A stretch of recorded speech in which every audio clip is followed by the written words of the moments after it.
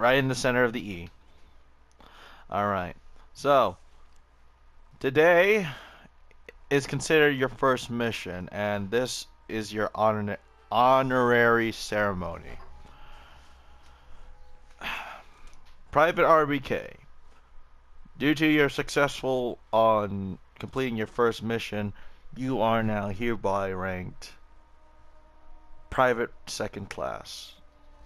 You are no longer a private, you move to and progress through the ranks of the Enclave, and this will be your first honorary promotion. Congratulations on your first promotion and passing training for the Enclave. Training being your first mission. So,